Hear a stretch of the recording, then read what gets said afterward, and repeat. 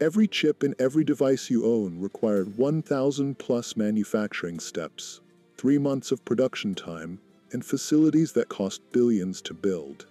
A single mistake in this process can render an entire wafer of chips worth hundreds of thousands of dollars completely useless.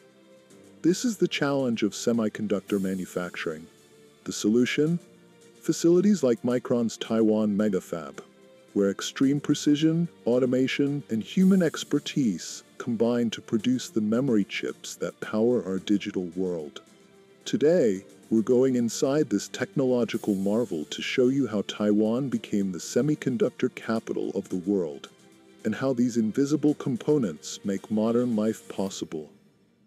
What if I told you that tiny chip in your smartphone traveled through a facility the size of 140 football fields before reaching your hand?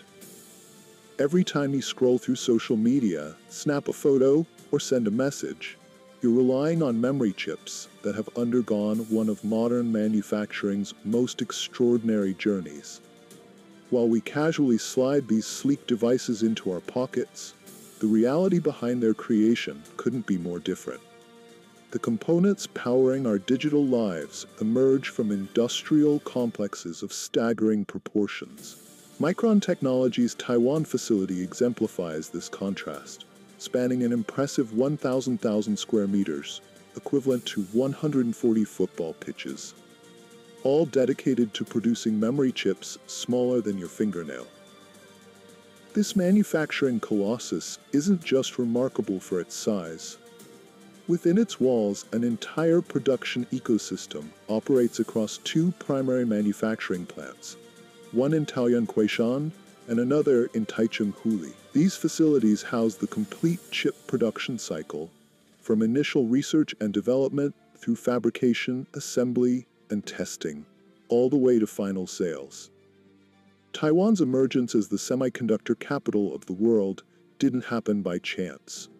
The island nation strategically cultivated expertise over decades, transforming itself into the epicenter of chip manufacturing. Today, Taiwan commands nearly 70% of the global foundry services market, where they manufacture chips designed by other companies.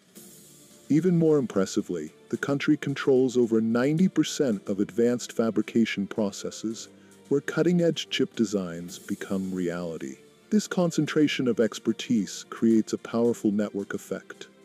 When manufacturers, designers, suppliers, and testing facilities operate in close proximity, they form an ecosystem that accelerates innovation and efficiency. The geographical advantage of Taiwan's location has allowed it to develop this tightly integrated semiconductor manufacturing hub that's unmatched anywhere else in the world. Micron's presence in Taiwan spans nearly three decades, making it one of the longest established semiconductor manufacturers in the region. This deep rooted commitment has been instrumental in developing Taiwan's semiconductor prowess.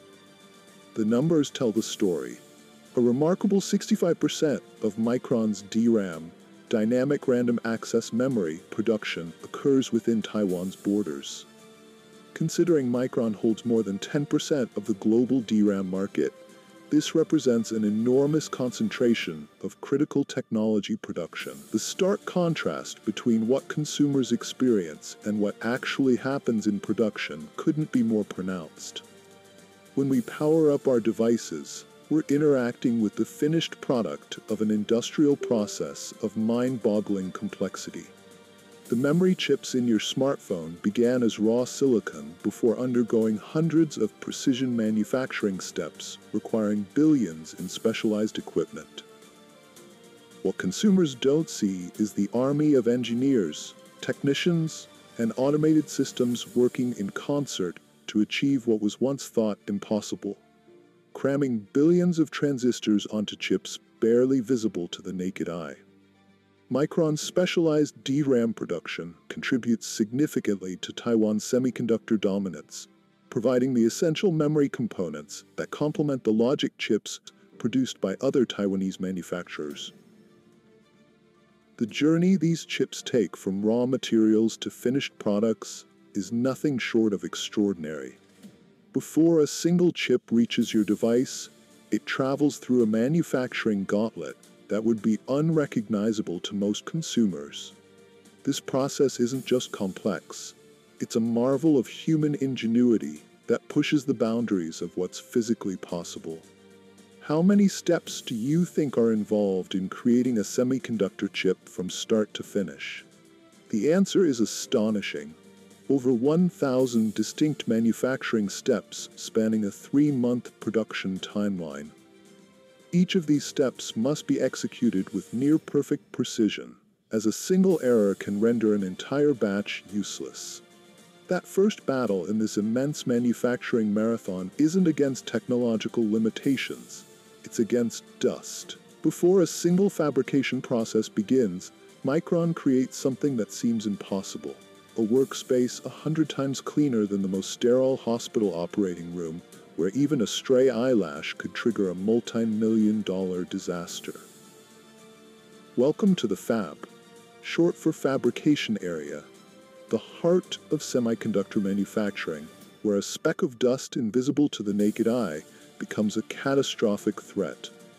Within these pristine chambers, semiconductor components measuring mere nanometers are constructed with atomic precision. At this scale, a particle that might seem insignificant in any other context transforms into a mountain sized obstacle capable of destroying entire batches of wafers. Imagine you're preparing to enter this sanctum of cleanliness. First, you'll encounter what's known in the industry as the gowning room, a transition space designed with intense attention to detail. Even the furniture here reveals the commitment to extreme cleanliness, constructed from stainless steel specifically chosen to minimize particle shedding. Nothing in this environment is ordinary or unconsidered. The transformation from human to cleanroom worker begins with donning what insiders humorously call bunny suits. These aren't simple coveralls, but comprehensive contamination barriers designed to trap the multitude of particles our bodies naturally shed. The typical person releases millions of skin cells and countless hairs throughout the day, each one a potential chip killer in the fab environment. The gowning process itself follows a meticulous protocol that leaves nothing to chance. Layer by layer, workers shield themselves, and more importantly, shield the clean room from themselves. Booties, hoods, gloves, face masks, and goggles create an impenetrable barrier against human sourced contamination. The suit isn't to protect the worker, it's to protect the delicate wafers from the worker. Yet, even fully suited, you're not ready to enter the fab. The final guardian between the outside world and the clean room is an air shower, a specialized chamber that forms the last line of defense. Here, filtered air blasts through numerous vents, dislodging any stubborn particles that might have survived the gowning process. Only after this final cleansing ritual can workers enter the manufacturing floor. Inside the fab itself, the air is in constant motion, filtered continuously through sophisticated systems that capture particles down to the nanometer scale. Unlike a typical building where air might be exchanged a few times per hour, the clean room's atmosphere is completely replaced many times per minute, creating a dynamic environment of perpetual purification. The extreme measures don't stop with air quality. Human presence on the production floor is carefully minimized, with automation handling many processes that once required manual intervention. Where human judgment and oversight remain necessary, the work has shifted dramatically from physical handling to knowledge based decision making, supervising systems rather than manipulating materials directly. This transformation in manufacturing approach marks a fundamental shift in how these advanced components are created. The complexity of modern chip fabrication has moved beyond what human hands alone could accomplish, requiring a partnership between specialized workers and advanced automation systems. Each person entering the clean room represents both a necessary source of expertise and a potential contamination risk to be managed. The semiconductor industry's obsession with cleanliness might seem excessive to outsiders, but the financial stakes justify every precaution. A single compromised batch can represent millions in lost revenue. More importantly, these extraordinary measures are the only way to achieve the submicroscopic precision modern technology demands. This cleanroom environment, an artificial bubble of near perfect purity, represents the canvas upon which the most intricate components of our digital world are drawn. Only within these pristine walls can the journey from raw silicon to sophisticated memory chip truly begin. Inside this meticulously clean environment, engineers face their greatest technical hurdle, creating billions of identical structures so small they're invisible to all but the most powerful microscopes. The machines that accomplish this feat cost upward of $100 million each, a price that reflects their almost unbelievable precision. At the heart of this process is photolithography, a technique that transforms raw silicon into functioning circuits through what amounts to an incredibly sophisticated printing process. Much like developing photographs in a darkroom, photolithography uses ultraviolet light projected through specialized masks to transfer circuit circuit designs as silicon wafers. But the precision here dwarfs anything in conventional photography. The scale of this engineering challenge is difficult to comprehend. Modern transistors, the fundamental building blocks that function as microscopic switches in computing, are approximately 10,000 times smaller than a human hair. These nanoscale components form pathways just a few nanometers wide, etched with such extreme precision that even the slightest deviation would render entire sections of the chip useless. The photolithography process begins with coating the silicon wafer with a light-sensitive chemical layer. Engineers then use specialized machines to project UV light through masks containing the circuit pattern.